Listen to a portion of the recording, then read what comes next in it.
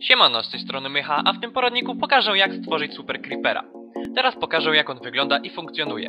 Jest to prawie zwykły Creeper, z tym, że szybko biega i czas jego wybuchu jest bardzo wolny.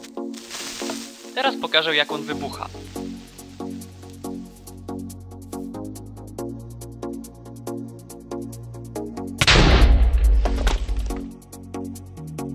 Można to wykorzystać do jakiejś mapy lub po prostu do trollowania kolegów. Aby go stworzyć potrzebujemy command block, bo komenda jest zbyt długa, aby ją wpisać w czat. Wpisujemy gif, nasz nick 137 spacja 1. Do command blocka wklejamy tę komendę, jest ona dostępna w opisie. I gotowe. Creeper został stworzony. Można też stworzyć innego creepera, który będzie wybuchał od razu, gdy podejdzie do gracza. Wystarczy wpisać drugą komendę z opisu. Życzę miłej i śmiercionośnej zabawy. Cześć!